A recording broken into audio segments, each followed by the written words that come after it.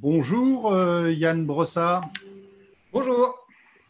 Nous sommes particulièrement contents de t'avoir aujourd'hui parce que c'est un jour un peu spécial. C'est ton anniversaire, je crois. Absolument. Et euh, quitte à avoir 40 ans, je me suis dit que autant le fêter ensemble. Eh ben, écoute, euh, on est très contents de t'avoir. Alors, pour ceux qui ne te connaissent pas, donc tu es porte-parole du Parti communiste français. Tu es aussi maire adjoint à la ville de Paris, chargé plus particulièrement du logement. Donc, toutes les questions aussi du logement, tu seras en capacité d'y répondre. Et tu sais aussi président des euh, élus communistes. Alors, on a déjà commencé à collecter pas mal de questions. Donc, je t'en pose euh, une première et j'invite tous ceux qui sont aujourd'hui euh, en direct à commenter, à partager et aussi à laisser les questions auxquelles Yann se fera, j'imagine, un plaisir d'y répondre. Alors, la première question, c'est Richard qui te la pose il demande, Richard, l'État a bradé toute notre industrie et aujourd'hui on est dépendant de la Chine pour fabriquer nos médicaments. N'est-il pas temps de relocaliser les entreprises qui fabriquent nos médicaments, voire de la nationaliser? D'abord, bonjour à, toutes et à tous. Bonjour à, Richard. Je partage complètement euh, euh, cette préoccupation-là. Aujourd'hui, on est dans une situation où nous n'avons plus la maîtrise de notre destin, précisément parce que euh, dans toute une série de domaines, nous avons laissé euh, filer notre industrie, et notamment euh, notre industrie pharmaceutique, ce qui fait que nous dépendons des autres, et notamment euh, de la Chine, pour pouvoir nous fournir en médicaments pourtant essentiels. C'est la raison pour laquelle, au Parti communiste, nous sommes depuis longtemps attachés à l'idée que la France doit rester une terre de production industrielle. Et pour ce qui concerne plus spécifiquement le médicament, non seulement nous avons besoin de produire à nouveau nos médicaments en France, mais nous aurions besoin d'un service public du médicament, d'un pôle public du médicament. C'est une proposition que le Parti communiste porte parce que euh, le médicament, la santé, la vie, ce sont des questions qui sont trop importantes pour être euh, laissées au marché. Alors, j'ai une question de Sylvie maintenant. Sylvie euh, te demande, aujourd'hui, on paye des fortunes pour qu'on puisse s'occuper de nos anciens dans les EHPAD, comme celle du groupe Coriane. Comment se fait-il que les actionnaires de ces groupes s'engraissent sur la fin de vie de nos aïeux? Ne devrait-on pas euh, créer un gigantesque service public pour que nos anciens aient la fin de vie qu'ils méritent? Euh, Je partage tout à fait ce que dit euh, Sylvie. D'ailleurs, il est temps qu'on parle davantage de cette question des EHPAD et plus largement de cette question de nos anciens, parce que s'il y a bien une chose qui doit nous révolter en ce moment, il y en a beaucoup, mais enfin celle-ci particulièrement, c'est la situation dans laquelle se trouvent aujourd'hui bon nombre de nos anciens, notamment les, 700 000 personnes âgées qui, en France, vivent dans, des EHPAD, soit des EHPAD publics, soit des EHPAD privés, notamment euh, ceux du groupe Corian qui, en ce moment, défraient la chronique. On est dans une situation euh, complètement folle où on a des EHPAD privés qui, effectivement, font payer des fortunes à leurs résidents et qui, dans le même temps, fournissent un service dont le moins qu'on puisse dire est qu'il n'est pas optimal par ailleurs, ces mêmes groupes traitent souvent très très mal euh, leurs salariés qui sont bien souvent précaires et qui ont des, toutes petites euh, rémunérations. Et donc, oui, euh, je partage ce que dit Sylvie, il est, il est, temps à la fois à court terme d'avoir un plan d'urgence pour nos EHPAD, avec des recrutements massifs et une déprécarisation des personnels qui sont d'ailleurs mobilisés depuis de nombreux mois. Et puis deuxièmement, aller dans ce domaine-là aussi, vers un vrai service public euh, dédié à l'accueil des personnes âgées qui, euh, en ont besoin. Alors Cyril, lui, euh, observe que Macron a, tapé depuis le début sur les gens qui ne sont rien, les gilets jaunes, leur demandant de traverser la rue pour trouver du travail. Et aujourd'hui, il les remercie. Qu'en penses-tu? Bah, C'est vrai qu'on a affaire à un changement monumental dans la rhétorique du gouvernement. Dans un premier temps, président de la République, Emmanuel Macron a passé son temps à caresser dans le sens du poil euh, les grosses fortunes, y compris d'ailleurs en joignant le geste à la parole et en leur faisant des chèques avec notamment la suppression euh, de l'ISF et la flat tax. C'était euh, la théorie selon laquelle il fallait donner une forme de prime au premier de cordée et que en accordant ces avantages au premier de cordée, on allait avoir un, un, merveilleux ruissellement qui allait permettre à toute la société française de se porter mieux. Et ce qu'on voit aujourd'hui, au contraire, c'est que ceux qui tiennent la France debout, ce ne sont pas les premiers de cordée, ce sont les premiers de corvée. Ce sont euh, les infirmières, ce sont euh, les éboueurs, ce sont, je le dis dans mon domaine, les gardiens d'immeubles, je le dis comme adjoint euh, en charge du logement à la mairie de Paris, ce sont tous ces personnels-là qui ont été longtemps méprisés par le pouvoir et qui en réalité permettent à la France de se porter encore, encore debout. Le président de la République dit qu'il faut leur rendre hommage, très bien, mais là aussi, il faut pour le coup joindre le geste à la parole et notamment en augmentant les salaires et en augmentant le SMIC qui aurait besoin d'un vrai coup de pouce. C'est très bien de dire qu'on a besoin de ces hommes et de ces femmes-là, ce serait encore mieux de leur permettre euh, de vivre euh, mieux de leur travail. Et puis, euh, je voudrais aussi dire, parce que je suis élu local, qu'on aurait besoin de revaloriser le point d'indice des fonctionnaires, toute une série de fonctionnaires catégorie C qui gagnent peu, notamment dans la territoriale, et dont les salaires mériteraient d'être revalorisés. Merci. Alors, j'ai Manon qui observe que l'État distribue des aides à toutes les entreprises, aux, grosses multinationales aussi, alors que beaucoup d'entre elles placent leur argent dans des paradis fiscaux. Que proposent les communistes à ce sujet? Bah, C'est vrai qu'il euh, y a en ce moment beaucoup d'aides en faveur des entreprises. Bon, euh, on a besoin d'aider, euh, évidemment, de soutenir l'emploi dans la période actuelle. Néanmoins, il y a besoin de soumettre ces aides à un certain nombre de conditions. Et d'ailleurs, les sénateurs communistes ont hier fait voter un amendement qui permet euh, qu'il n'y ait pas d'aide aux entreprises qui soit euh, accordée euh, aux boîtes qui placent leur argent dans des, dans des paradis fiscaux. C'est une initiative des sénateurs communistes et elle a fait l'objet d'un vote majoritaire au Sénat. ce sont les sénateurs Éric Boquet et Pascal Savoldelli qui ont porté cet amendement et je voudrais, et les saluer. Donc ça montre que même si on est minoritaire, on arrive à, obtenir des avancées importantes sur un sujet comme celui-là qui nous tient à cœur et, qui tient à cœur de beaucoup de Français qui en ont marre de voir que des boîtes euh, réussissent à échapper à l'impôt alors même que nous tous, euh, on paye notre impôt rubis sur l'ongle. Bon alors, Arnaud, d'abord, il te souhaite un bon anniversaire. il te pose la question, euh, que devient le foyer d'accueil du 16e arrondissement de Paris qui te doit beaucoup? Bonjour Arnaud et euh, merci et merci pour, euh, pour, l'anniversaire. Euh, bah, D'abord ce centre d'hébergement effectivement que nous avons créé il y a maintenant quatre ans dans le 16e arrondissement Lisière du Bois de Boulogne, il est toujours là et il accueille toujours de, nombreux, de nombreuses personnes, à la fois des personnes seules mais aussi des familles. Vous vous souvenez qu'à l'époque effectivement ça avait suscité quelques polémiques parce que pour ceux qui ne connaissent pas Paris, le 16e arrondissement est euh, un des arrondissements les plus huppés et il ne comptait à l'époque aucun centre d'hébergement. Et donc nous en avons créé un, ça a été compliqué, on en a depuis créé même un deuxième. Euh, et, je constate que malgré euh, les cris d'orfraie de, certains, y compris des luttes droites à l'époque, aujourd'hui les choses se passent extrêmement bien et on a même, ça vous fera peut-être sourire, des gamins de, ce centre d'hébergement qui maintenant jouent au hockey sur gazon euh, à l'intérieur du bois de Boulogne. Enfin, maintenant, avec le confinement, tout ça est interrompu, mais je suis persuadé que ça reviendra très vite. En tout cas, je le souhaite. En tout cas, ça se passe très bien et ça montre là aussi que euh, en menant un certain nombre de combats, on arrive à obtenir satisfaction. Alors, j'ai Mireille euh, qui a une inquiétude, qui, dit bah, qu'est-ce qu'on peut faire pour que le 1er mai ne passe pas à la trappe? Bah, Mireille pose une, vraie question compliquée. comment faire en sorte que notre voix, la voix de, ceux qui veulent un changement euh, se fassent entendre euh, le 1er mai? C'est compliqué. Euh, néanmoins, je sais qu'il y a un certain nombre d'initiatives qui, sont, en train de se construire. En tout cas, le Parti communiste contribuera à faire en sorte que la voix des, salariés se fasse entendre le 1er mai dans ces conditions particulières. On parle de, de banderoles ce jour-là sur les, façades euh, des immeubles. Enfin, en tout cas, on mènera un certain nombre d'initiatives visant à, faire en sorte qu'on soit entendu. Et puis, euh, un jour quand même, on sortira du confinement et ce sera l'occasion de dire un certain nombre de choses euh, et de les exprimer fortement pour, pour qu'on soit entendu.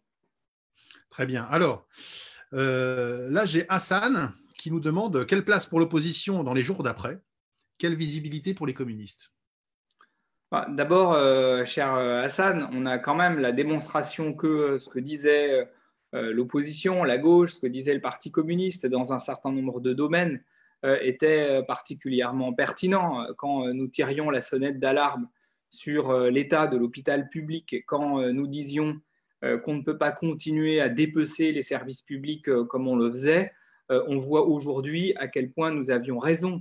On ne peut pas dire que le gouvernement est responsable de l'épidémie. En revanche, on peut dire que le gouvernement est responsable, avec d'ailleurs un certain nombre euh, de politique qui date d'avant, mais enfin, que toutes ces politiques-là ont contribué à nous fragiliser dans ce contexte d'épidémie. Donc ça, c'est la, première chose. Et puis la deuxième, c'est qu'on a besoin maintenant de formuler des propositions alternatives. Le Parti communiste en a fait un certain nombre dans un document que je vous invite à, à lire sur, sur, le site du Parti communiste. Et on a besoin d'y travailler avec l'ensemble des, forces sociales, politiques, euh, qui ne veulent pas euh, d'un débat politique confisqué par Macron d'un côté et Le Pen de l'autre. La France mérite mieux que ça.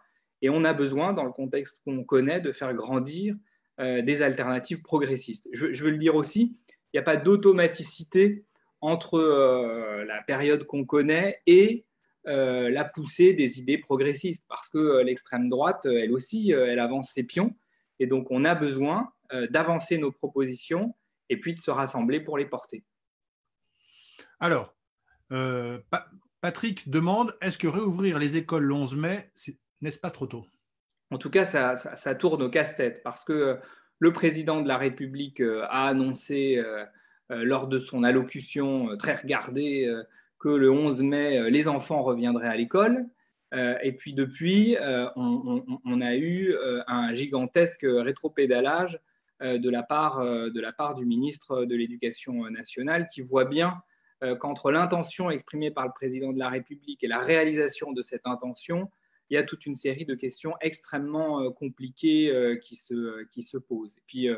Il nous dit il faut par exemple pas être plus de 15 par classe, ça ne se, décrète pas et c'est donc très compliqué. D'ailleurs, aujourd'hui, on nous dit que le président de la République a annoncé que euh, l'arrivée des enfants se ferait euh, au volontariat, enfin en tout cas qu'il n'y aurait rien d'obligatoire euh, à leur présence. Donc oui, tout ça semble un peu précipité. Après, moi je suis convaincu qu'à un moment donné, il va bien falloir revenir à l'école. Simplement, il est de la responsabilité de l'État, il est de la responsabilité du gouvernement de faire en sorte que ça se fasse dans de bonnes conditions.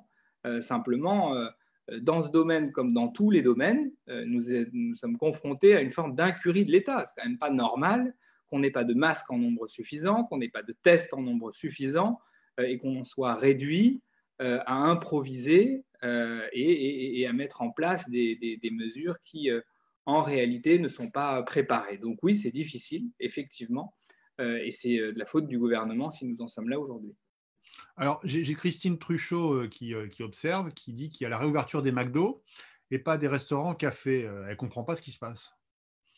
Alors, pour répondre à Christine, d'après ce que, j'ai compris, il y a la réouverture non pas des McDo, mais des drives McDo.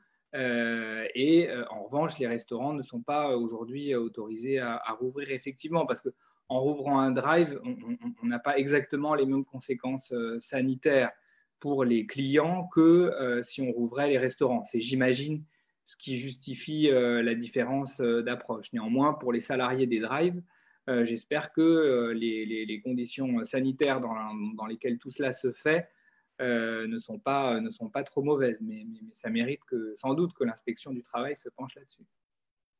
Alors, sur les questions du travail notamment, Gérard pose la question suivante. Le MEDEF veut un moratoire sur les lois environnementales. Macron veut supprimer les 35 heures et les RTT, ils veulent tous un travail, ils veulent tous qu'on travaille plus, alors que ça fait des mois qu'on manifeste contre les réformes Macron. Quand comprendront-ils que leur monde est dépassé? Je partage totalement, euh, totalement euh, ce, qui est, ce qui est dit. À vrai dire, si on écoutait le MEDEF, euh, il n'y a pas que les normes environnementales qui seraient supprimées. sans doute que le Code du travail serait brûlé aussi. Enfin, on n'a heureusement pas vocation à exaucer les, les vœux du, du, MEDEF. Ce qui est sûr, en revanche, euh, c'est que euh, le MEDEF, lui, il avance ses pions tout le temps. D'ailleurs, euh, on était encore en train de compter les morts, qu'il expliquait déjà qu'il faudrait effectivement travailler plus et, si possible, se, tuer au travail.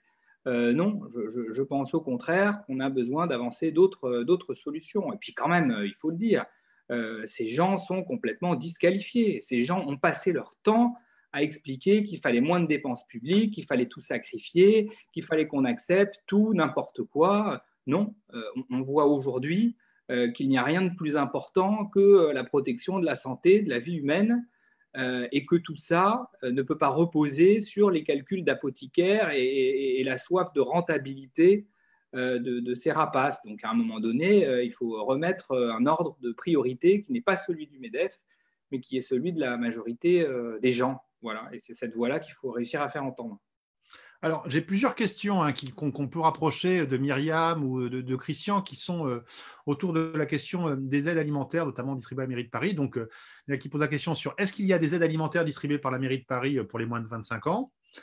Et il y a Christian qui dit il y a des centaines de milliers de travailleurs qui se retrouvent sans aucun revenu, sans moyen de manger normalement. Et les associations commencent à être débordées. Comment les municipalités peuvent-elles aider malgré des finances, on le sait, un peu compliquées?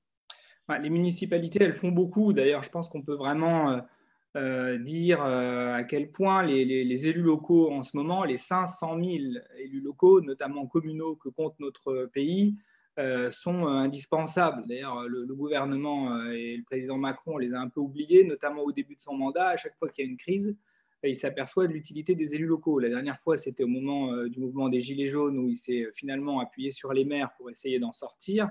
Et maintenant, euh, c'est au moment de, cette épidémie. Heureusement que la France peut euh, se reposer sur son tissu euh, d'élus locaux. Et c'est vrai que les élus sont beaucoup interpellés sur cette question de l'aide alimentaire parce que on a des familles qui, jusqu'à présent, pouvaient faire manger leurs enfants, notamment grâce aux tarifs sociaux dans les cantines. Dans une ville comme Paris, euh, le, tarif le plus bas à la cantine, il est de 13 centimes pour les familles euh, les, plus modestes. Bon, il y a d'autres villes dans lesquelles c'est soit gratuit, euh, soit très peu cher.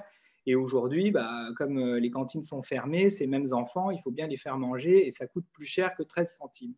Donc, il y a beaucoup de villes qui ont mené des initiatives de distribution de paniers alimentaires. Je sais que c'est le cas à Bagneux où il y a eu ce, ce type d'initiative, dans plein d'autres villes aussi, notamment des villes à direction communiste. C'est le cas à Paris. À Paris, nous avons aussi mis en place une aide financière pour euh, aider les familles modestes euh, à, faire euh, leurs courses.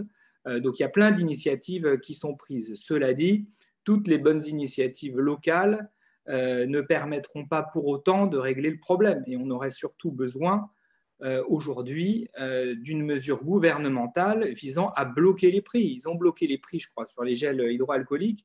Je ne vois pas pourquoi. Est-ce que sur les produits de première nécessité, on ne pourrait pas avoir une initiative similaire?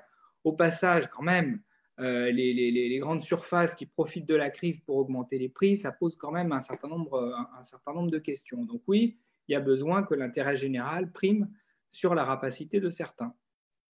Alors, on va revenir sur les questions un peu sanitaires. As Franck qui observe que l'épidémie s'est stabilisée, mais qu'elle recule très peu. Faut-il prendre d'autres mesures pour la combattre euh, et euh, faut-il reparler des tests euh, et des dépistages? Bien sûr, je partage ce que dit, ce que dit Franck. D'ailleurs, si nous avons dû confiner, c'est parce que nous n'avions pas suffisamment de masques et de tests. Et, de toute façon, lorsque nous déconfinerons, à partir du 11 mai, même si on a bien compris depuis l'allocution du président de la République que ce serait un déconfinement moins brutal qu'on l'avait imaginé au départ, il y aura besoin de masques et de tests. Et il y aura besoin notamment d'isoler ceux qui ont été euh, testés positifs euh, au Covid. Euh, je, sais que dans un certain nombre de villes, mais je crois que ça va se faire un peu partout, il y a ce projet de mobiliser des chambres d'hôtel pour pouvoir loger des gens qui ont été testés positifs, pour éviter les contaminations intrafamiliales. C'est fondamental si on a envie d'éviter euh, que le déconfinement euh, se transforme euh, en désastre et qu'on soit ensuite obligé de reconfiner. Donc oui, on a besoin de masques, on a besoin de tests, on a besoin de chambres d'hôtel pour isoler les, gens qui ont été testés positifs. Et donc, on a besoin que le gouvernement assume des responsabilités qu'il tarde un peu à assumer jusqu'à présent. Alors, autre sujet, Rémi demande, en cette journée anniversaire du mariage pour tous, comment les élus locaux aident et peuvent aider les jeunes victimes d'homophobie euh, dans leur foyer confiné? Ben, c'est vrai que c'est aussi l'anniversaire du vote de la loi sur euh, le mariage pour tous. Euh, ça montre aussi qu'il y a quand même des combats, des, combats victorieux quand il y a des gens pour les porter.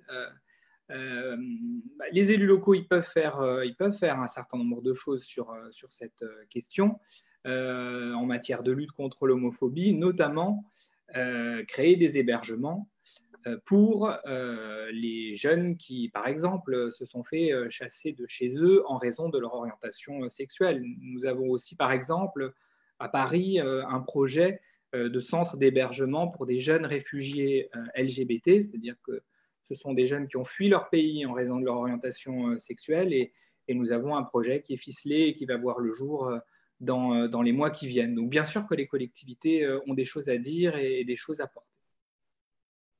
Bon, que penses-tu euh, des entreprises qui font un petit peu le forcing pour le redémarrage au détriment de la santé des salariés? Alors, c'est Joël qui pose la question. Bah, il est concevable qu'un certain nombre de, patrons euh, cherchent à défendre euh, leur intérêt. Bon. Simplement, le rôle du politique, ça n'est pas de défendre l'intérêt d'une minorité, c'est de défendre l'intérêt du plus grand nombre. Et l'intérêt du plus grand nombre, bien sûr, c'est qu'un certain nombre d'entreprises puissent repartir, mais qu'elles ne puissent le faire que euh, si les conditions sanitaires euh, sont remplies. Euh, et si on a décidé de confiner, c'est précisément parce qu'on a considéré que c'était un impératif sanitaire. Le Parti communiste a d'ailleurs plaidé pour qu'on arrête les activités non essentielles pendant cette période de, confinement. Ce qui fait d'ailleurs qu'on a continué depuis le début du confinement à avoir des contaminations, c'est précisément parce qu'un certain nombre d'activités euh, non essentielles euh, ont été euh, poursuivies, malgré ce que nous préconisions. Donc, en réalité, c'est une question d'ordre des priorités. Et il n'y a rien de plus important que la santé et la protection de la vie humaine. Alors, autre sujet, j'ai pas mal de questions hein, d'Alain notamment, ou de, Nelly, qui pose la question des municipales. On est entre deux tours des municipales quelle est la position du Parti communiste et qu'est-ce qu'on pense d'un report? On parle d'un report en mars prochain, euh, on ne sait pas trop quoi penser. Bah, d'abord, euh, il y a eu euh, le, vote du premier tour et, dans la grande majorité des villes, je crois que c'est quasiment 30 000 communes, pas que des villes d'ailleurs, des villages. Dans, dans, 30 000 communes, il y a un maire, puisqu'il y a eu une élection dès le premier tour. Euh, et pour ce qui concerne les communes qui n'ont pas élu leur maire dès le premier tour, il y a effectivement ce second tour qui est suspendu. Nous, ce que nous disons, c'est que euh, le calendrier qui a été défini euh, au départ, c'est-à-dire un rapport des autorités sanitaires à la fin du mois de mai, puis éventuellement un second tour qui aurait lieu en juin ou plus tard, selon ce que préconiseront les autorités sanitaires, c'est la bonne solution. C'est-à-dire que euh, on ne doit pas décider du calendrier électoral en fonction de considérations politiciennes, on doit le faire en fonction de considérations sanitaires. Si les autorités sanitaires nous disent que c'est possible, tant mieux. Si elles nous disent qu'il faut reporter, on reportera. De toute façon, il va bien falloir que la vie démocratique, à un moment euh, donné, euh, retrouve, retrouve ses droits. Mais il faut qu'elle puisse le faire dans des conditions sanitaires convenables. Alors, Christine qui pose une question sur les grands chantiers. Et euh, elle dit Qu'est-ce que tu penses de la reprise du chantier Charles de Gaulle Express? Bah, moi, moi, je pense euh, qu'il faut arrêter euh, pendant cette période de confinement les chantiers, enfin en tout cas les chantiers qui ne sont pas urgents. Je, ne considère pas que ce chantier-là soit un chantier urgent. Ce que je veux dire, c'est quand un bâtiment risque de s'effondrer, évidemment qu'il faut éviter qu'il ne s'effondre. Simplement, là, en l'occurrence, on n'est pas du tout dans ce cas-là. Euh, et, d'ailleurs, j'étais très choqué par euh, la pression euh, de la ministre Muriel Pénicaud en faveur du redémarrage des chantiers, alors même que le patronat du BTP, je pense à la Fédération française du bâtiment, mais aussi à la CAPEB, qui sont des organisations professionnelles, elles demandaient la suspension des chantiers. C'est-à-dire qu'il faut quand même voir qu'on a un gouvernement qui a tapé sur le patronat du bâtiment en essayant de le contraindre de reprendre les chantiers, y compris quand le patronat du bâtiment disait que les conditions sanitaires n'étaient pas remplies euh, pour le faire. Euh, comme quoi, hein, on a parfois des, patrons qui sont plus responsables euh, que le gouvernement. Alors, j'ai une question sur un autre sujet, on essaie vraiment de balayer, c'est vraiment très très large ce soir. Alors, j'ai une question en ce moment sur la dimension européenne en ce moment de, crise, l'Europe a montré beaucoup de failles, voire de désunion. Cette crise marque-t-elle la fin de l'Union européenne? Bah, L'Union européenne euh, telle qu'elle est, elle est morte. Parce que euh, le logiciel euh, sur lequel cette Union européenne a été créée, les politiques d'austérité, la règle des 3%, le, broyage de tous nos droits sociaux, euh, tout ça est aujourd'hui complètement remis en cause par euh, l'épidémie à laquelle nous sommes confrontés, parce qu'on voit bien qu'on n'a pas besoin de moins de services publics, on a besoin de plus de services publics, on n'a pas besoin de moins de dépenses publiques, on a besoin de plus de dépenses publiques. Donc au final, cette Union européenne-là, oui, elle est périmée. Est-ce que pour autant l'idée européenne est morte? Je, ne le pense pas. Et je pense que on n'a jamais eu autant besoin d'une autre Europe qu'aujourd'hui. Parce que tout le monde regrette l'absence de l'Europe dans cette crise. Donc c'est bien qu'on aurait besoin de coopération européenne, mais d'une coopération européenne qui se fasse sur des bases très différentes euh, de ce que l'Union européenne a été jusqu'à présent. Donc l'Europe est morte et, vive l'autre Europe d'une certaine manière. Euh, j'ai une question, c'est Christian qui, te, qui euh, que penses-tu de la capacité du gouvernement d'aujourd'hui à régler la, crise sanitaire? Est-ce que tu penses qu'ils sont à la hauteur? Non, mais enfin, je, pense que Christian imagine ma réponse. Et puis, de toute façon, les Français sont très majoritaire à considérer que le gouvernement euh, n'est pas à la hauteur. Euh, il n'est pas à la hauteur parce que le logiciel sur lequel Emmanuel Macron a été euh, élu n'est pas adapté à la période dans laquelle nous sommes. Pas du tout. son logiciel, c'était le libéralisme à outrance. Et on voit aujourd'hui où nous conduit le libéralisme à outrance. Le libéralisme à outrance, c'est la clochardisation du service public. Et aujourd'hui, on a besoin du service public. Euh, donc bien sûr, le gouvernement n'est pas à la hauteur. Après, il ne s'agit pas de, s'en réjouir et de se dire qu'on pourra tirer les marrons du feu, parce qu'on voit à quelle situation ça nous conduit. On en est quand même à, plus de 20 000 morts, et la France est un des pays les plus touchés par euh, l'épidémie. Donc on a besoin de reconstruire une perspective politique euh, à gauche, et, le Parti communiste est disposé à y contribuer. Alors, pour, aller dans la même question sur Christian qui ajoute, hein, parce que j'avais vu qu'une partie de ta question, qui demande quelles sont les propositions que pourra apporter le PCF pour l'après?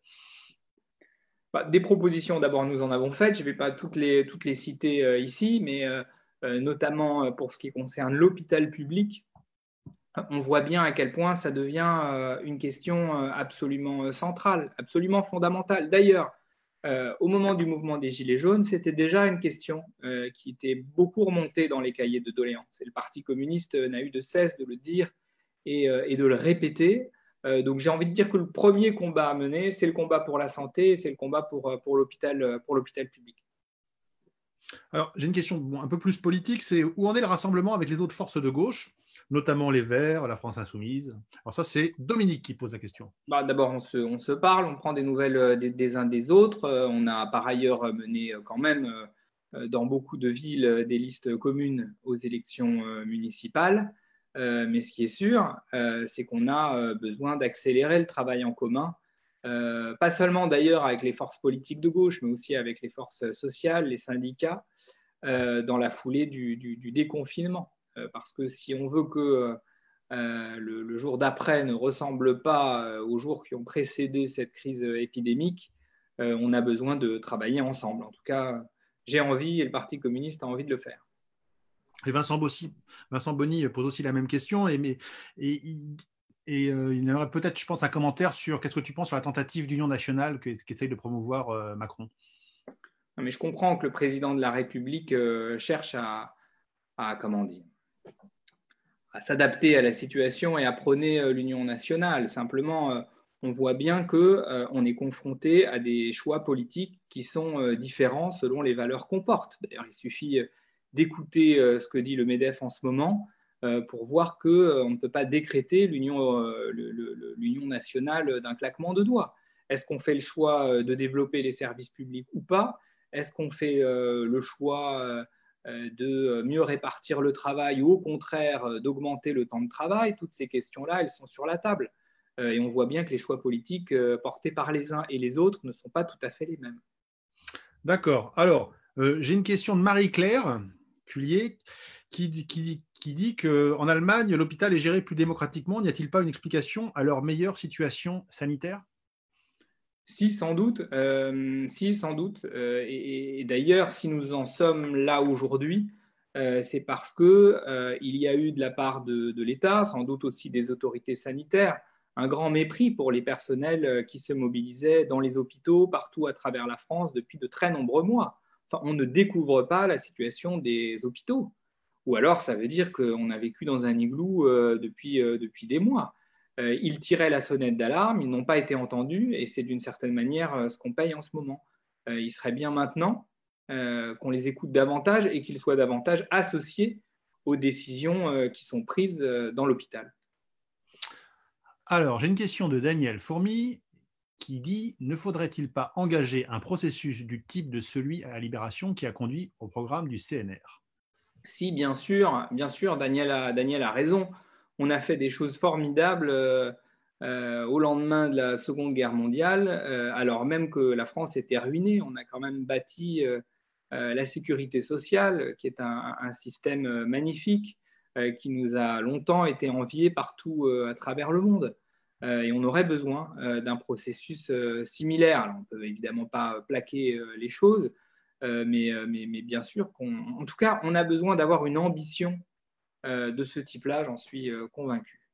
Alors, j'ai une petite question, je ne sais pas si tu pourras répondre, mais au moins on la pose, hein, parce qu'on pose, c'est la règle du jeu, les questions arrivent.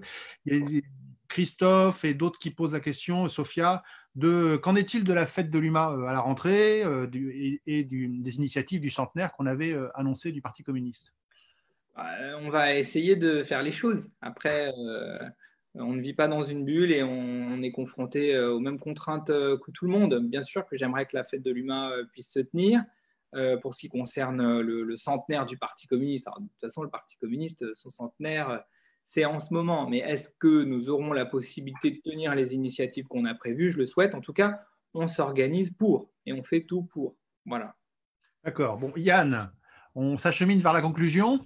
Alors, euh, je j'ai Émilie et Gérard qui posent la question suivante. Quelles initiatives va prendre le PCF pour euh, construire le monde d'après, histoire de, rassembler un petit peu la discussion qu'on vient d'avoir? En tout cas, on va, euh, va diffuser massivement, dès que ce sera possible et qu'on pourra sortir de chez nous, les propositions que nous portons et nous allons travailler à des, convergences avec les, forces politiques et, sociales. Fabien Roussel dira un certain nombre de choses euh, le 1er mai, euh, et, en tout cas, ça ira dans ce sens-là. En tout cas, on a très envie de, construire euh, le jour d'après avec vous qui nous écoutez, avec tous ceux qui ont envie que ça change. Voilà. En tout cas, merci beaucoup. J'étais ravi de participer à, cette discussion et, ça fait du bien de, se parler en cette période de confinement. Ben merci Yann. Juste, j'en profite pour annoncer donc que la reprise, ça sera lundi avec Frédéric Bocara. Donc, on va discuter, je pense, d'économie, euh, voilà, donc on se retrouve euh, à 17h30 et d'ici là, j'espère que tu vas profiter avec tes amis euh, quand même de cet anniversaire parce qu'on n'a pas tous les jours 40 ans quand même. Ben, merci beaucoup et à très bientôt. Merci Gérald.